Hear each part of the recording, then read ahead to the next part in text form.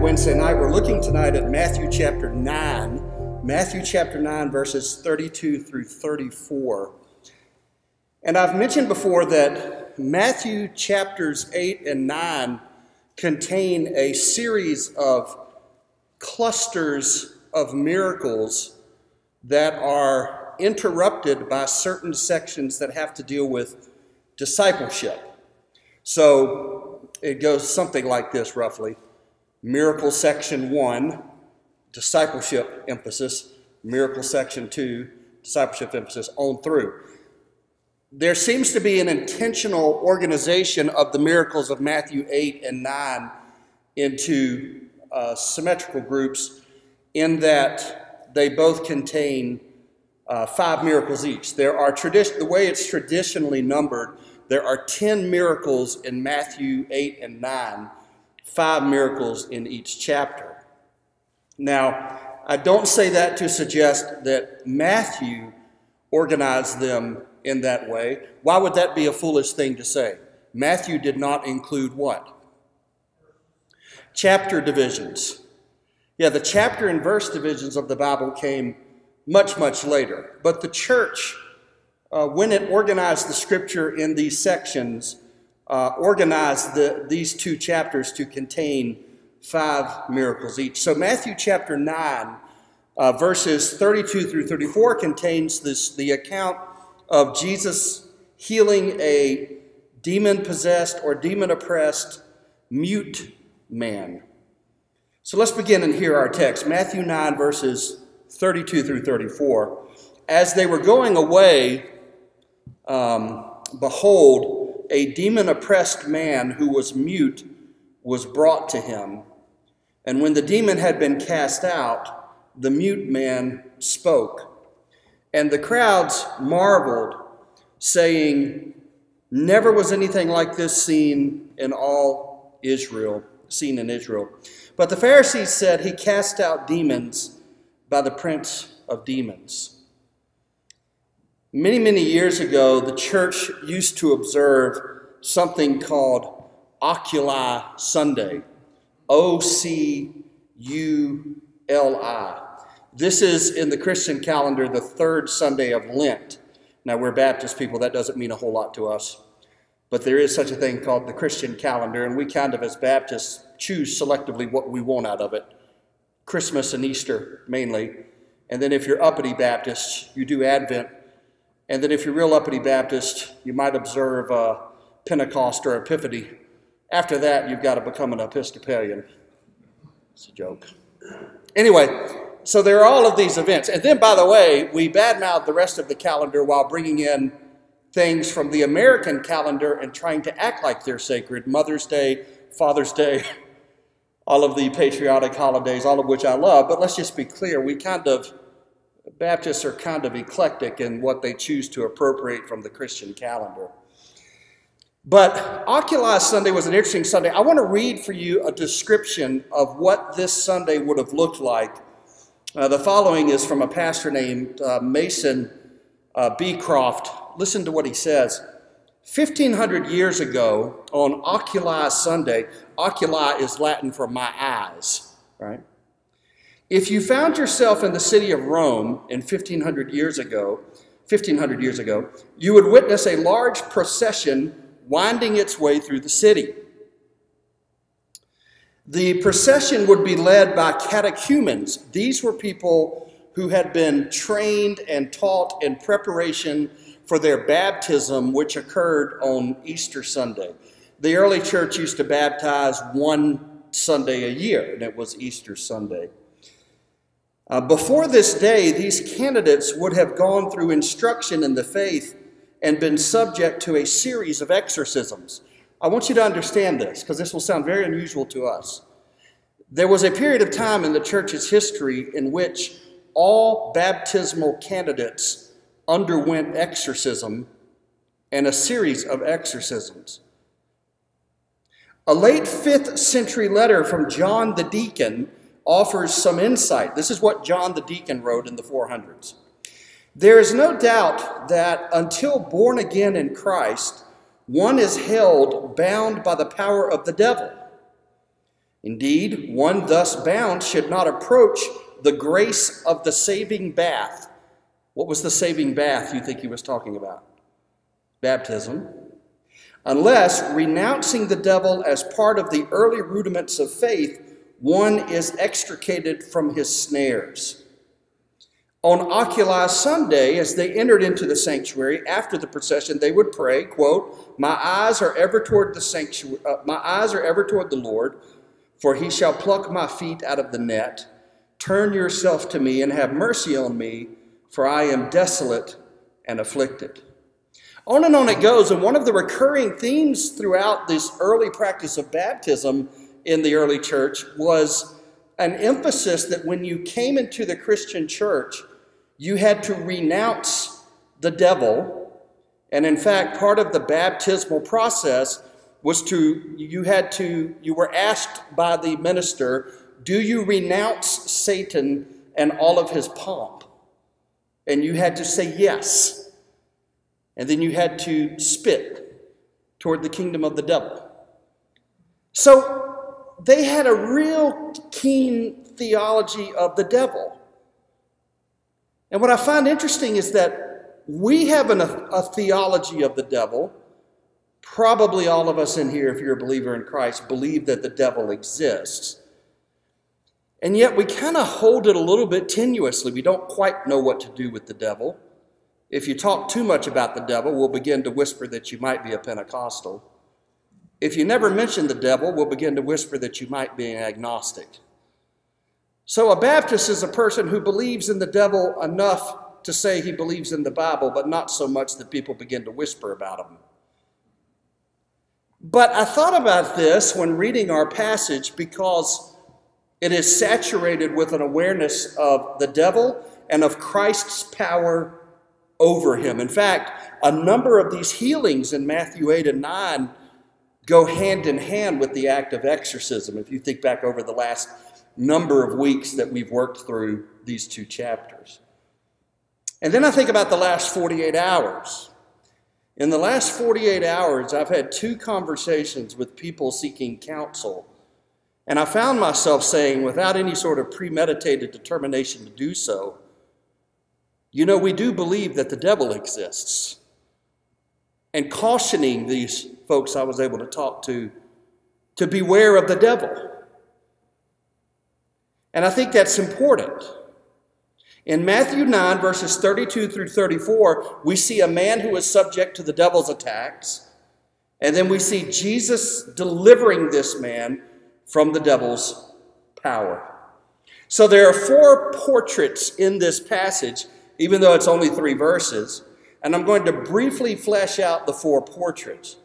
The first is the victim, this man who is a mute and possessed by a demon possessed of a demon. The second is Jesus the Savior, who has power over the devil. The third is the adoring crowd who celebrates this moment. And the fourth are is the Pharisees who have a very different understanding of what's happening here. So I just kind of want to work through these. Number one, the victim, a pitiful demonstration of demonic attack. Look back at verse 32. As they were going away, behold, a demon oppressed man who was mute was brought to him.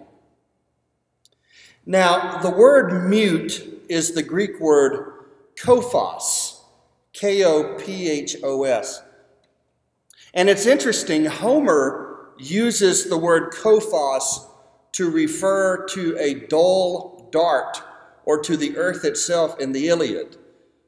Meaning, one of the ways you come to understand how ancient people used words is you look at how they're used in non biblical or extra biblical writings. In wider usage of the term, it was oftentimes used to refer to someone who was mentally dull, what we would call mental illness, or someone who has mental health issues. Kophos referred to mental dullness. In Scripture, the same word has a twofold meaning. It either means deaf, which seems to be its primary usage, or mute. We know that because Matthew uses kophos. Clearly, it is in reference to a man being mute because when the demon is cast out, he speaks. But this has led a number of earlier interpreters of the Bible, like St. Jerome and others, to argue that while the scriptures does not, do not say that he was deaf and mute, it can be assumed. So we know he was mute. Many of the early church fathers argued that he was also deaf. But notice also that this was very debilitating because he had to be brought to Jesus. As they were going away, behold, a demon oppressed man who was mute was brought to him. The idea seems to be that such was his debilitation that he could not get to Jesus on his own. Now, what's interesting for our purposes tonight is to notice that his being possessed by a demon is linked directly to his being mute. We know that, again, because when the demon is cast out, the first thing the man does is speak.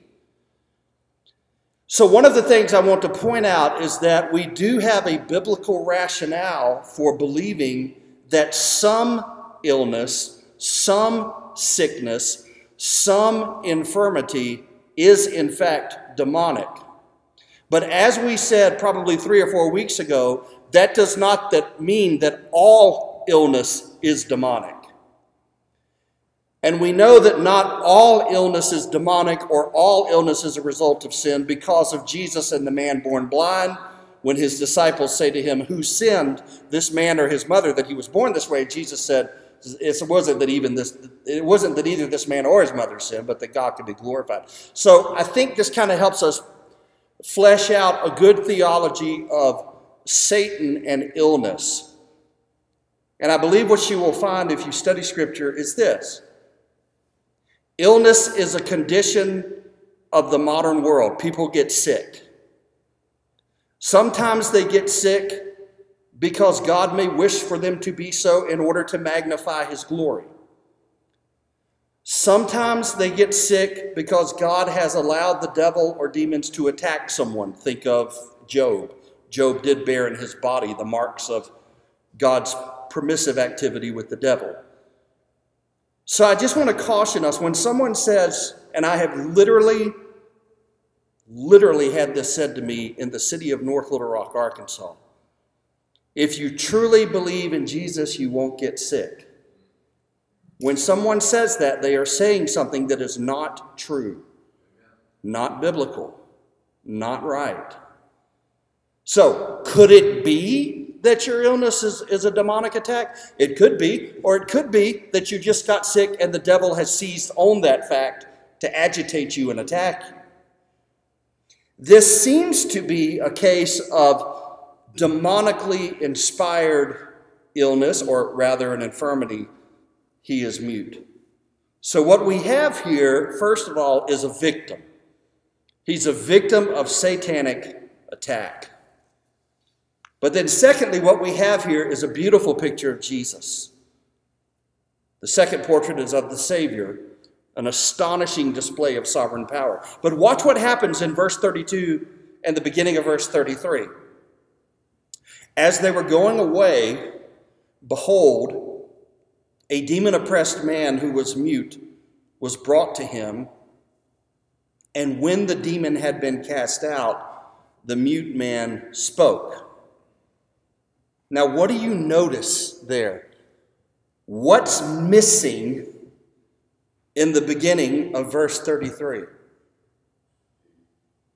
What's missing is any account of the actual healing, right?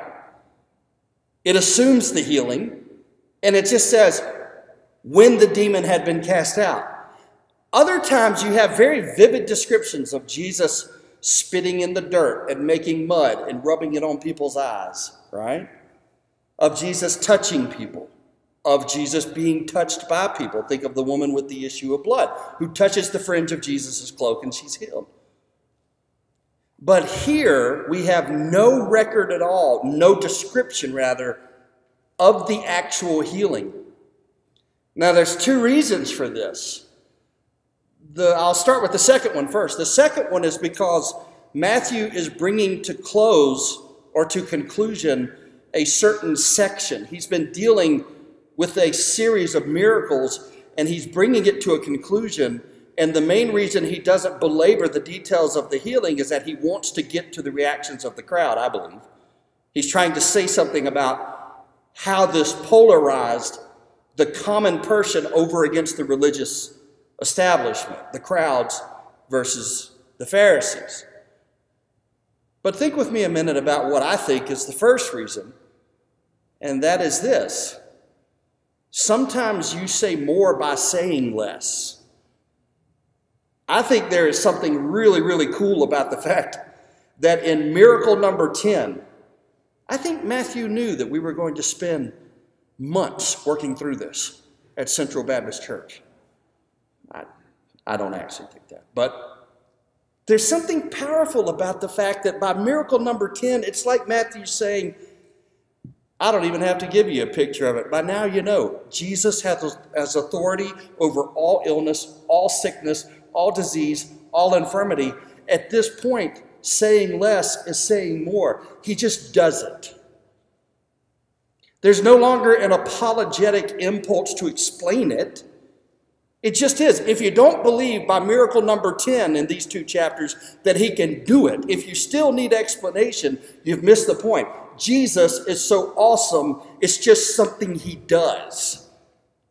I think that's really cool, by the way. So look at this. As they were going along their way, going away, behold, a demon oppressed man who was mute was brought to him. And when the demon had been cast out, the mute man spoke. And what did the mute man say? We don't know. But I like to think that he said, Thank you, or Praise God. It's a tantalizing, I mean, think about it. This whole little section has two tantalizing omissions that pique our curiosity the details of the healing and the content of the man's words. We don't get a description of how he was healed, and we don't get to know what he said. This is very similar to Jesus with the woman caught in adultery when he kneels down and writes with his finger in the sand. It's, it's tantalizing because of what we do not know, which is what he wrote. Here, too, we don't know what he says, but here's what we have we have a possessed mute man, we have an allusion to his deliverance, and then we have him speaking. He is healed. Jesus is a healing God, He is the God who heals. I told a story that was intended to be funny on Sunday about me healing a poodle. Remember this? It's a powerful story. I don't, I don't know that Brooke O'Brien believes me. She's a veterinarian, but I, I just want to say that I'm going to take credit for it. I'm really not. It did happen, but I give credit to the Lord. But afterwards, I did receive word from a church member, and I think I was too sarcastic or something, which happens frequently. Ronnie says it happens very frequently. Amen. Yes. She says, Wyman, she's like, a lot of people don't know when you're joking and when you're not. This is what Ronnie tells me frequently. I'm like, I've been here almost 10 years, Ronnie. They should just know by now. And she said, You know that thing where like 10 people are laughing and everyone else looks confused? I was like, Yeah, I like that. She said, That's when they don't know. Well, I, I wasn't joking about the poodle at all. That, that literally happened like I said it. But I did receive word from someone who, who wanted to know were you laughing about it because you don't actually believe in healing? So I just want to make very, very clear I actually do totally believe in healing. I believe God can heal. I pray frequently for God to heal. I prayed this afternoon at someone's bedside for God to heal him. I absolutely, completely. So I just want to say that for the record. My finding the healing of the poodle to be kind of a funny story, I just do. I don't know why. I just find it hysterical and funny. But it's okay to find certain things in the kingdom of God very funny, and you can still believe in the thing that happened. Right? I mean, look at ourselves. I find myself ridiculous, but I, but I'm glad to be here. You know. So, Jesus, Jesus, Jesus heals. The third picture is of the crowds. The crowds a rightful acknowledgement of the uniqueness of Jesus. Now, like I mentioned before, I think what one of the things Matthew is wanting to do is draw a contrast between, quote, the crowds who are beginning to see Jesus for who he is and, and are elated, and the Pharisees who are furious. Watch the crowds, verse 33. The crowds marveled, saying, Never was anything like this seen in Israel. Again, it's a simple statement. This is a very simple section in terms of its language. It's just kind of boom, boom, boom, boom. This is what they said. Never before, never was anything like this seen in Israel. Now, that's an amazing statement because these are Jews saying this about Jesus, who was likewise a Jew. And they're saying never was anything like this seen in Israel. But in the Old Testament, there are numerous miracles. God did healings through the prophets. There are also exorcisms in the Old Testament. So think about that. Somehow, the crowd gets that there's something different and unique and authoritative and powerful and awesome about Jesus. They get it. They see it. I love how John Chrysostom put it many, many years ago. He said, The statement bothered the Pharisees because the crowds placed Jesus before everyone else. Listen to how he describes this. Not merely before people who lived at that time, but even before all who had ever lived. And they put him first, not because he was healing people, but listen, but because he healed easily. He healed quickly. He healed countless cases of disease. He healed diseases that were incurable. Hence, the people reacted in this way. I love that point. The point is that he was doing it so much that Matthew doesn't even have to describe it anymore. It's just what he does as he moves through the area. As, as he carries on his days, Jesus heals. He is so powerful that it's no longer big news for him, it's just who he is. I love what John Stott said about Jesus. He said, quote, we may talk about Alexander the Great, Charles the Great, and Napoleon the Great, but not Jesus the Great. He is not the great, he is the only. There is nobody like him, he says. He has no rival and no successor. Dallas Willard put, quote, He is simply the brightest spot in the human scene. There is no real competition. So the crowds get it. Now, one of the things I want you to kind of pick up on in the end of this, it's not just a distinction between the crowds and the Pharisees. I believe it's a distinction between the common person and the religious elites. Or, to put it in Baptist terminology, the people in the pew and the seminary graduates. Common people seemed to get Jesus, didn't they? I mean, people were drawn to him. Now, tragically, many of these same people will be yelling, Crucify him, but even then, we learn in the Gospels it was at least in part under the instigation of the religious leaders.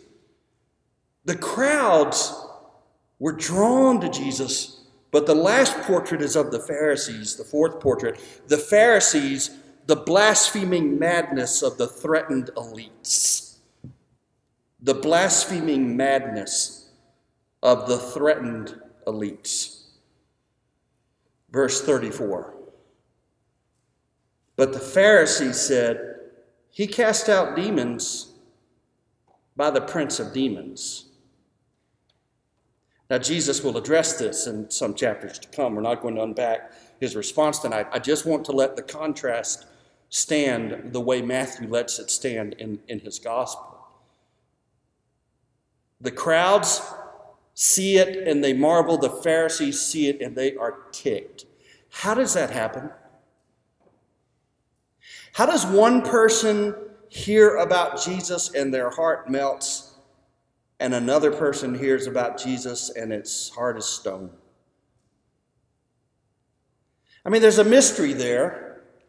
If you're a reformed person, then you say it's the mystery of election, and I personally believe properly understood, of course, in election. It's the properly understood part that people will kill each other over. But notice how one group turns toward Jesus and another turns away. But here's the tragedy it's the religious people who hated it.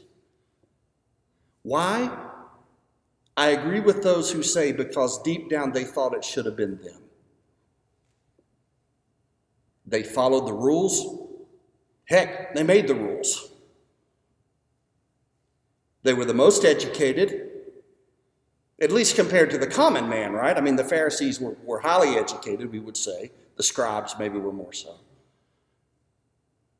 They were pious.